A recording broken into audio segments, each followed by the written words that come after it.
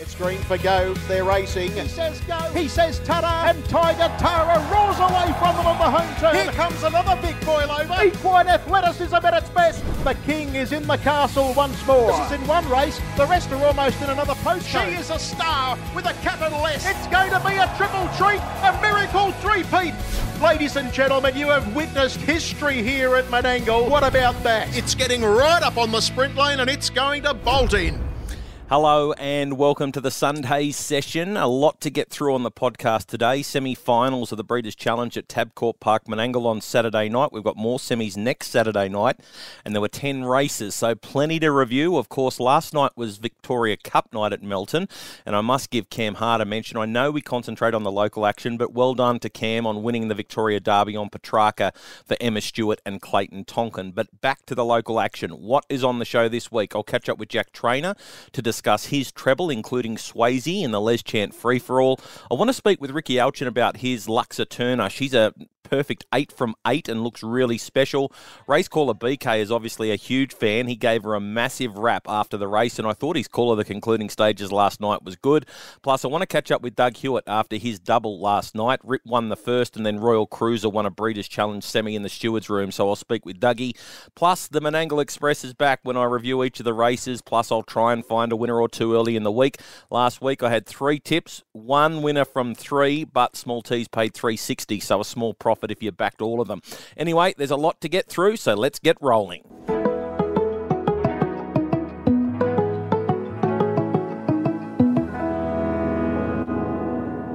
Third section was 27 and 6 as they're about to run for the money in the Les Chance. Swayze beat off the challenge of Star Major. Coming to the outside is Our Money Rocks. Pete, so, Pete Senso's about to work across carts and right down the outside. Zeus Bromax letting down 150 to go. The leader Swayze though. Class is starting to come to the top. Swayze 100 to go. He's packing plenty of power. Trying its hard out is Our Money Rocks, but Swayze wins the Les Chant. Swayze beats Our Money Rocks. Zeus Bromax, Star Major fourth. Swayze Swayze couldn't have been any more impressive in winning at Tabcorp Park Menangle at his first run back since winning the Blacks A Fake at Albion Park in the winter.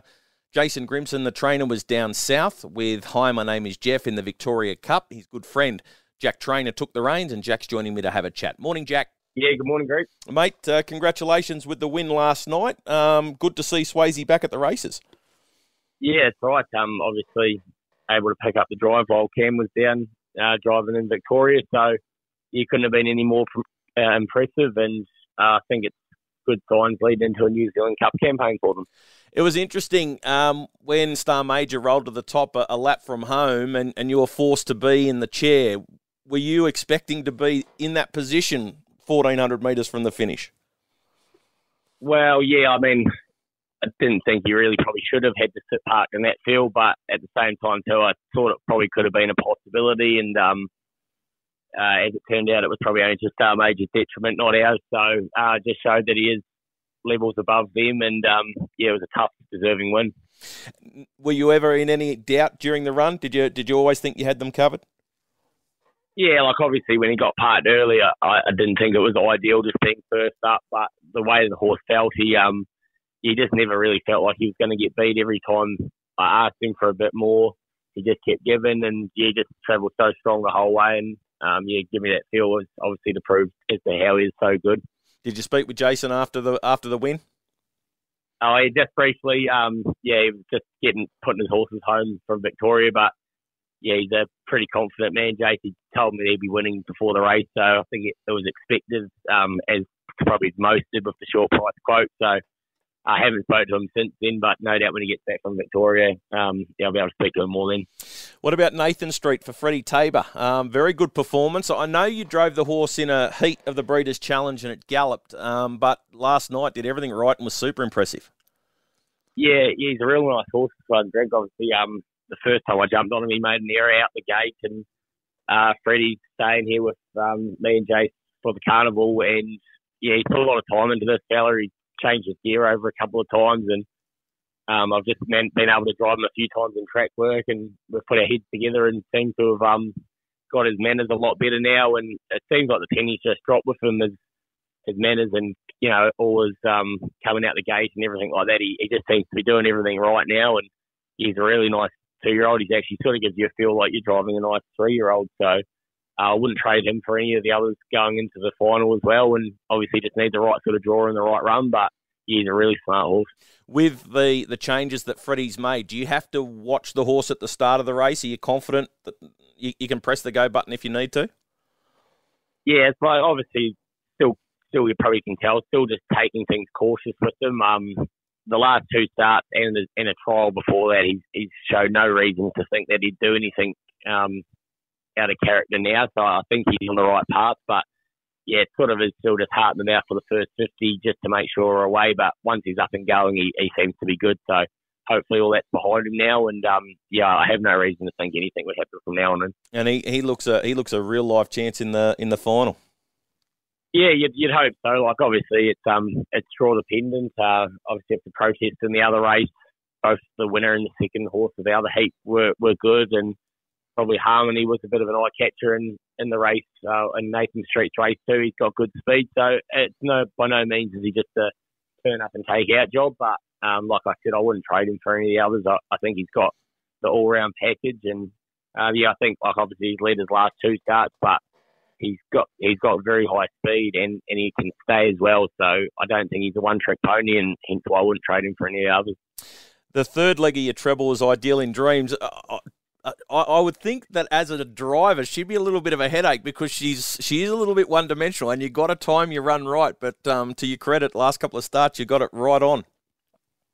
Yeah, well, she sort of I don't know if I've got it right or she just pulled me out of the, the wrong spot, but um, yeah, she's got good speed. I think, like, I was quite happy to cruise up on my own last night. Obviously, we got cover halfway through the race, which probably helped, but it also forced my hand a little bit early. But I think she she come back really good. Um, David Thorne's done a great job with her to get her back into this sort of form, and uh, on paper she looks like one of the main chances in the four year old mares. So yeah, I'm looking forward to being able to sit behind her in a couple of weeks' time, and um, yeah, I think she's obviously a main player too. She was vulnerable last night only because of the, the speed or the lack of speed in the race. She, she did a really good job. You know, like they, they walked through the the uh, the first three quarters of the race.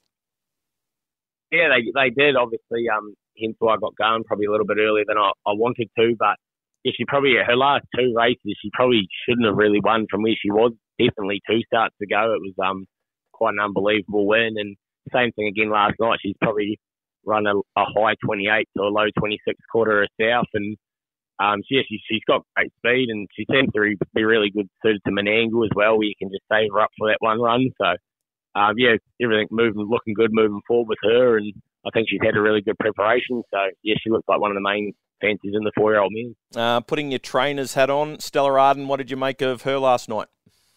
Yeah, she was good. She, she's just a nice, honest mare. She's um just run into one a bit better than her. Obviously, she raced a few of the boys last night, and uh, much like the the Ideal and Dreams race, once there was early speed, and um, then Will was able to back the speed off of the second and third quarter and and run home in 26. So she's probably gone home in about the similar quarter herself, and um, yeah, she's just a nice bread and butter mare that will just be nice, nicely suited at Menangle, and she's in the right sort of grade where she can she won't win out of turn, but she'll sort of always be around the money. And what about last week's Frith Stakes winner, um, Braeview Kelly? Where's she at? Yeah, she, she come through that run really good. Uh, obviously, she done well to win last start. The, the, she's going to race uh, this coming Saturday. There's a free for all drawn on six, so be nice for her to draw down low for once. She hasn't had a, a great draw for quite a while now, and um, albeit she'll probably be racing the boys and you'd probably hope and like to think that with the Victoria Cup last night and the likes of your Swayze's racing last night in a tough race, hopefully a few of those better ones aren't there and uh, might just be another nice race for her to get into. And obviously her main grand final this preparation is hopefully the Queen of the Pacific, which is in the start of November. Um, it's obviously, we're not sugarcoating, it's a bit of a daunting task going down there to take on eight or nine of uh, Emma Stewart and Clayton Tonkin's top mares, but uh, she's definitely good enough to go with them. And as long as she's in a real good patch of form and I'm happy with her, that's probably where she'll aim to go after that. So just a hit and run mission, you'll just go down for the one run? Yeah, I think so. Obviously, there's a few mares races over the coming weeks, but um, like I said, it, it's quite quite daunting when um, Clayton and Emma have so many good mares, and, and you know, not just one or two. There's eight or nine of them. So I think we'll just keep her at home until uh, the start of November and draw dependent and how she is you know, a few days out will be the decider if we go, but that is the plan. Um, after the Queen of the Pacific, are you looking at races back in Sydney during the summer?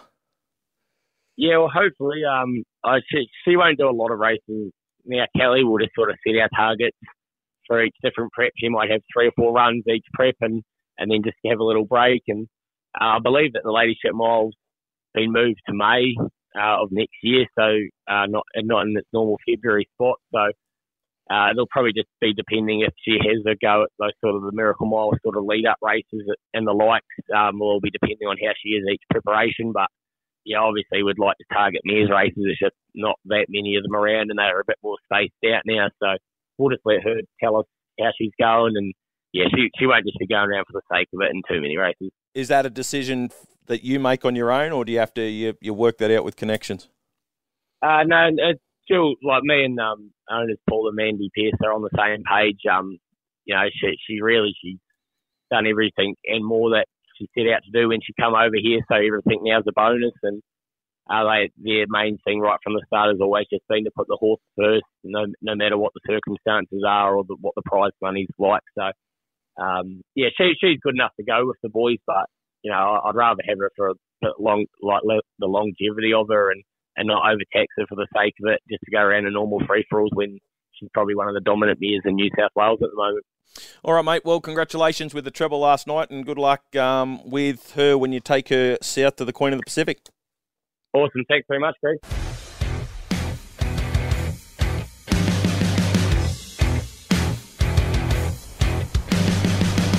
Turner heading towards the quarter marker. Leads the way by three or four metres on Forever Skyfall. Third section was 28 and 2. Elusive looking for a way clear. There's not one so far. Sarah Desloy to the outside. Now Lux Aterna given full bore. 250 to go. Elusive out and chasing. Sarah Desloy, but with 150 metres left to go. Lux Aterna, she's starting to go into overdrive now. All challenges swept aside. All threats neutralised. Lux Aterna, unbeaten and unrivaled. Beat Elusive in third spot will be our ultimate Luca. Well, Lux Aterna, she looks a, a, pretty special filly, and she booked herself a spot in the Breeders' Challenge final. Rickie Alchin, the trainer driver, is joining me. Morning, Rickie. Good morning, Greg. Uh, mate, Good to have you back. Nah, thank you. Um, congratulations last night with Lux Aterna. Very impressive filly, and she just keeps getting the job done. Yeah, she does, Greg. Like she's um, she's now unbeaten in her eight starts, and uh, last night was probably going to be, you know, a bit of a, a test to see where she was at because we were going to spear her off the, the mobile arm. Um, and, you know, she, she done it with ease, really. And, yeah, really excited for the final in the fortnight. You got a nice breather through the second and third quarters, but gee, she's electric when you push the go button, 26 1 up the straight. Yeah, she's um, that's probably one of her biggest assets. Obviously, she's got the ability, but she's such a good racehorse. Like she to to spear her off the arm like that, and then she just come back to me so well, and you know, travelled well in the third quarter around the bend. She was just like I was swinging off her, and yeah, just um, when I asked her to accelerate at the top of the straight there, like she she put a, a good length on elusive, but to to elusive credit, sort of it stuck to its guns and and it didn't go down fighting. It tried really hard too, and I probably think she's the horse to beat in the series. Mate, she's now eight from eight. Do you do you feel any pressure going to the races um, with that record that she's starting to build? Oh, look, it's always the more they win, you know, the the more people start to look at them and watch them. I suppose. Like I know she's got a, a little bit of a following. You have a lot of people message you and things like that, but you know, there, there is always pressure there to, to keep them fit and healthy, and there's always expectations that are set higher. But you know, we we just do our job, and um, yeah, and hopefully she can get the job done. She does make it easier being such a good racehorse. Um, you, you know, you obviously made your name years ago as a breaker, and, and you know what a, a good youngster is. Where does this filly sit amongst the, the nice horses that you've had your hands on when they've been uh, early on in their careers? Yeah, well, she's right up there, and she has been from from the get go. Like I remember ring. I don't. I try not to wrap them up too early. I've been down that path early days. You get one and you get really excited, and then they let you down. So now I'm more try and let the horses do the talking, and and that's sort of how I go about it with the owners as well. I tell them if I like them, and then you know I don't um, don't get too carried away with them until they hit the track and they actually come out and do it. And I said to Rosario early days, you know, this filly, there's something about her. I think she'll be all right. And her first education trial, I think if you look back through her form, the only time she's ever been beaten was in an education trial. And we sat her, she wasn't really ready to, to be going fast or anything. And we took her over there and I think they went their last half in 56 and I never pulled her out. She was just like in first gear. And I said to Rosario that day, this filly's good. And yeah, she, she hasn't been beaten since. Pink Bonnet, Gold Tiara, the Nutrien final. Um, she's going to be the dominant favourite in the in the uh, Breeders' Challenge as well. What is is there anything more for her in the season? Well, she's um, Breeders' Crown eligible down in Melbourne, but we'll just get um, get the Breeders' Challenge out of the way and then assess what we do. Look, more than likely, we will go down for it because it's, a very prestigious race and not very often you get a horse that's you know a genuine, serious chance of winning it. A lot of times you're going down there just hoping to qualify and get into the final. But I do think this filly is you know probably the benchmark filly in Australia at the moment. And what about the connection with the Laspinas, uh, the Laspina family? How did that all happen? Um, it just sort of was out of the blue, really, Greg. Um, I'd always sort of seen Alf and Rosario around at the races because they, they love their babies and you know, I, I was sort of always in the baby races as well, and always said hello to them, Never really went into too much depth of conversation. And Rosario rang me out of the blue one day and just said, "Look, we've got this little horse here. He was by Christian Cullen. Um, we got no expectations with him, but would you be happy to take him for us?" And I said, "Yeah, of course I would."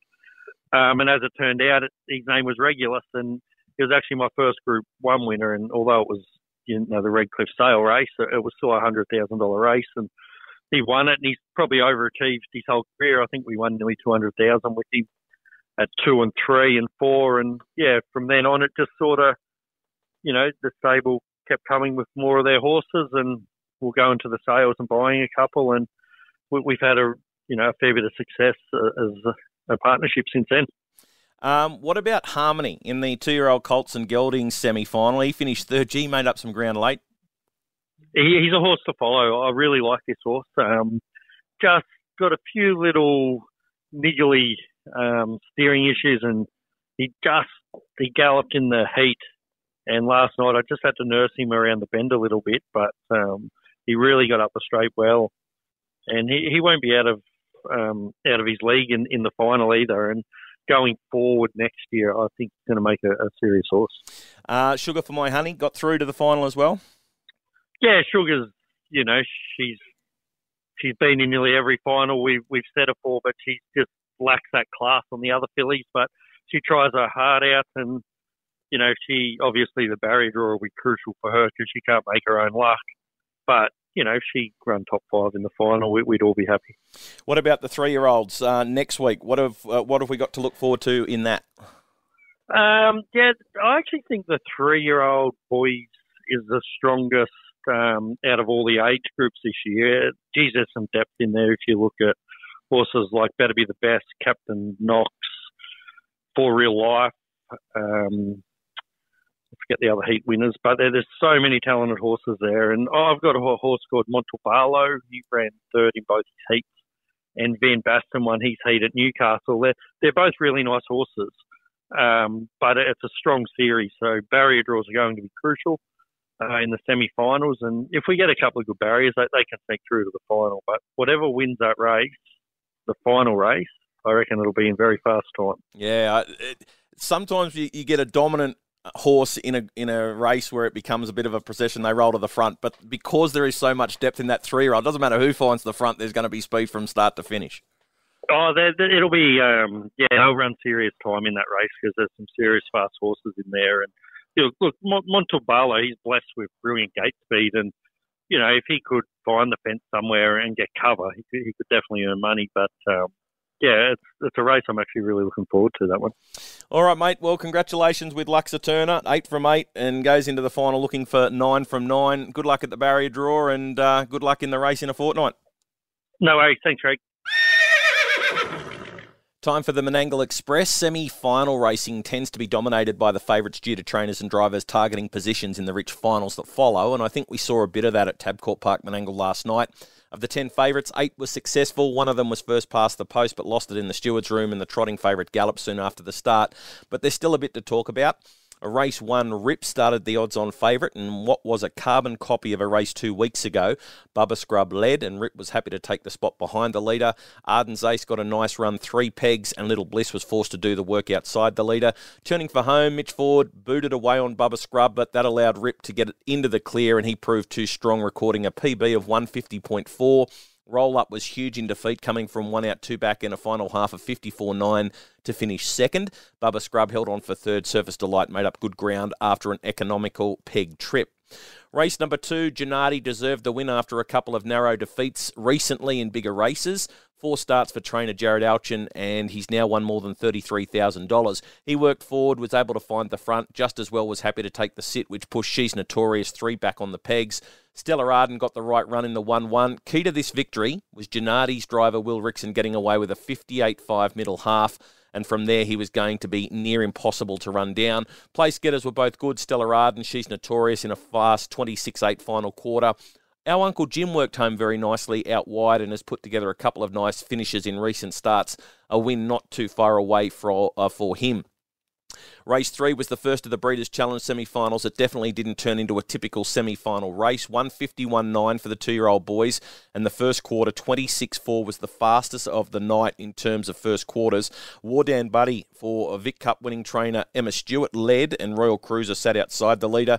Middle half was 59 seconds. So the leaders did get an easy time of it, but they really ramped it up from the quarter. In the end, the race was decided in the steward's room with first past the post Wardan Buddy shifting out underneath Royal Cruiser, who couldn't have been more brave in the run to the line. Ironclad was good coming from three pegs after not finding a lot of room when the speed went on. Race number four became a procession for renewal when she found the top and rolled through the first 1200 metres in 127.5. Anything back in the field was no hope. It basically became a sprint up the straight to try and secure a top five finish for the Group 1 final. Renewal showed good dash, getting home in 26-7. Lover Reshes, she did what she had to do after securing the right run. She ran second. Libby Lou booked herself a spot in the final, finishing third. Sweet Haley Jane ended up missing a guaranteed run in the final after being third favourite in the semi. She was forced to do all of the work outside the leader. I think she's inside the best 10 fillies in the series, but the barrier draw didn't do her any favours in the semi. She now has to hope things go her way with a scratching or two to gain a run. Uh, race five was the first of the four year old mare semi finals. It was dominated by the horses that raced on the pegs. My Sweet Sabrina has now won six of her last seven. I actually thought watching the race she was vulnerable on the home turn when Taylor Osmond asked her to go but she found and she was never really in any danger. Beauty Place sat behind her and cut the margin down late, but never really was a winning hope. Uh, Zenzina was three pegs, finished in third. I think the final will be a lot more interesting with my seat, uh, sweet Sabrina well in front of Ideal in Dreams um, but more on her later. Uh, race six was the Les Chant free for all. Swayze was the short prize favourite. He was having his first start since winning the Blacks A Fake at Albion Park back in the winter. He did have the two trials leading into it, but the 2300 metres first up was a query.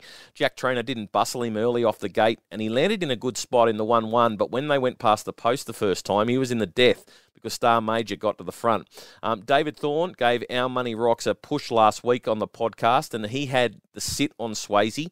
But as they got to the top of the straight, Swayze got his head in front and he held them down the straight. It was a fast last half in 54 9 over the 2300. Um, Our Money Rocks didn't let supporters down, ran second. Zeus Bromac worked home late after sitting in the running line on the back of Our Money Rocks. Race number seven, Nathan Street was the short price favourite. He did gallop in a heat of the Breeders' Challenge at Menangle, but that was a distant memory. He worked to the front. He ran through the first quarter in 27 2. American Spirit had the run behind him, and that forced Humble to race without cover. Slow middle half was the norm, 57 9, but the winner dashed up the straight in 26 9. American Spirit held on for second. The third horse, Harmony, was really good to the line. Like the way he savaged it despite being beaten six metres. But if they go stupid in the final, he has some blowout chance for Rickie Alchin. Lux Aterna. Uh, race eight, she was looking to keep her unbeaten record intact, but with elusive on her back soon after the start, it looked a really good test for the filly. She charged off the arm in 27 3 from a wide draw, but then put the brakes on, running through a middle half in 58 8. Was electric in the straight, running home in 26 1 to make it 8 from 8. Elusive was really good late. She ate into the margin. She can win the final Our ultimate Luca finished off well, but was some 15 metres off the winner. Race number nine, that was a semi final where I thought the fave was vulnerable. Ideal in Dreams is a sit and sprint horse. Um, and when she settled back in the field and they walked early, she had her work cut out for her. Captain's Queen led. Sugar for My Honey sat behind the leader, and Kate's Virtue was three pegs. Sweetly Spoken ended up coming away from the markers to lead up the running line, giving Ideal in Dreams the nice run. But the sections 28 5, 31 3, 28 2, it was set up for the front runners. Ideal in Dreams was able to grab Captain's Queen late to prove last week was no fluke. She's a huge threat in the final if they run along. Kate's Virtue isn't in the same class as the semi winners, but she hit the line really well. Race 10, short price favourite Funky Monkey Gallop soon after the start. This changed the race somewhat. Doff Your Cap was able to get to the front. Majestic Trio sat behind the leader. Royal Glen Ferry, three back on the pegs.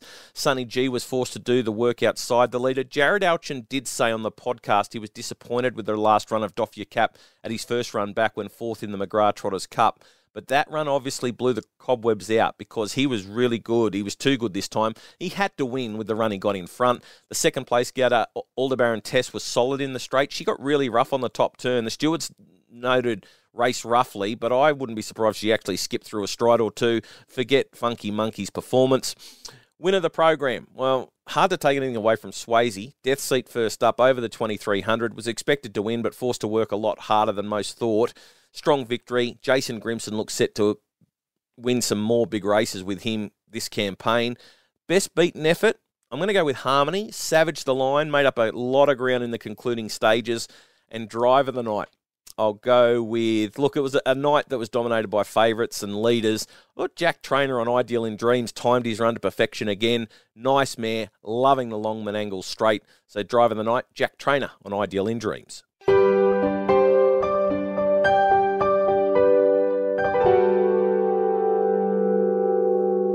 Third section was 27 and 4, and still the leader is Bubba Scrub. Rip has all the options. He's going to try and come to the outside now. Bubba Scrub left the inside, so Rip will come three horses wide. Back to the inside, Arden's Ace, Joni, and winding up. Rip nearly up to Bubba Scrub. 150 metres left to go. Bubba Scrub digging in for the fight. Rip ranges up on the outside, very late roll up. It's Rip in front, close to home. First favourite home. First favourite, Ripple beat in second spot. Roll up will be Bubba Scrub. Fourth close between Surface Delight or Jody and then Arden's Ace. Rip back into the winners list on Saturday night with a good performance taking out race number one, starting to get a few wins alongside his name. Doug Hewitt did the driving for Bernie, and Doug's joining me to have a chat. Morning, Doug.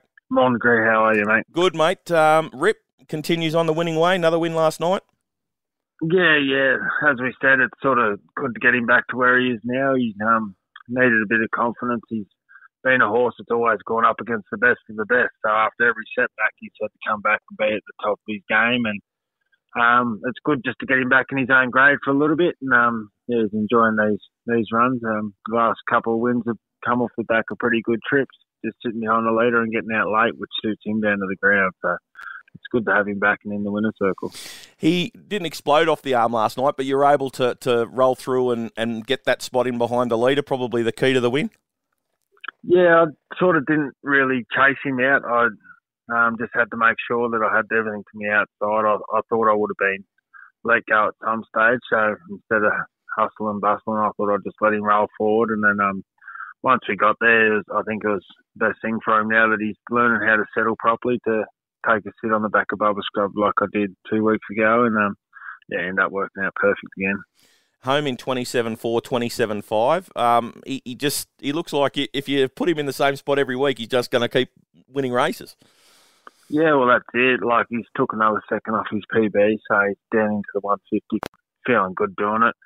He's one of those horses that can trail any type of speed, and um, yeah, it's good that he's learning how to do it both at the start and finish. So we used to be a little bit worried about letting him run off the arm because it took us a fair bit to get him back underneath us. But now, um, once he's on a helmet or once he finds the top up in a bit and starting to settle and really learning how to be a, uh, a good racehorse. I sent you a message a couple of weeks ago saying no Inter Dominion, and you just said no, not not just at the moment. You're just going to decide and, and let him get used to being a racehorse. That's it. Like he's the poor boy, he missed his whole two two year old um, season. He had one start at the start of it and had an injury, and when he come back, he went straight into his three-year-old and three-year-old classic. So he's straight into the um, gold chalice at Bathurst, and then the gold bullion at Menangle. And every time he has these setbacks, as I mentioned, he comes back and has to go and get some pretty classy horses. And there was no different this year. He had another little setback with um, a fractured splint bone. And coming back from that, we were sort of racing the clock to getting ready for the um, biggest race harness racing's ever seen, and probably one of the uh, most red hot fields you'll ever see. Like the class in his age group at the minute is probably one of the best class groups you've ever seen in our sport. And um, for him to come back and have to keep stepping up against these quality horses, I, me and Byrne and Wayne all sat down and thought it'd just be good to get a bit of confidence back next to his name, race his own grade, and try and get some wins and some time on the board. So, any what are the plans going forward? We just keep seeing him on a Saturday night at Menangle and, and he'll race through his grades? No, no, it's more just letting him get a couple wins back next to his name. Um, there's there's no real outline for him. Um, now he's out of that 95 grade. He's up into the free for allers, so that's that's going to be another test in itself. So he's a horse that would sort of just can pick and choose a little bit. We let him have last week off because it was a long trip, and we just wanted to focus on the miles for now. And the random barrier draw that worked out good. So um, I don't I don't think there's any point of just racing him week in week out and busting him. We'll just sit back and pick what races we want to aim him at and go from there. It was the first leg of a, a winning double for you. Royal Cruiser getting uh, race number three in the stewards room. Um, good performance from the uh, Sweet Lou two year old. Unreal. He's um he's a horse with plenty of up. He's a big green bloke. It's still learning how to do it properly, but um yeah, it was unreal to drive him last night. Sitting park going 51 9 outside him, uh, up the straight in sub 27, and was sort of still getting into his work close to the line. So he's um he's a horse that's going to be in all the big races later on. I, I feel, and um yeah, it was just good to get a drive on him last night.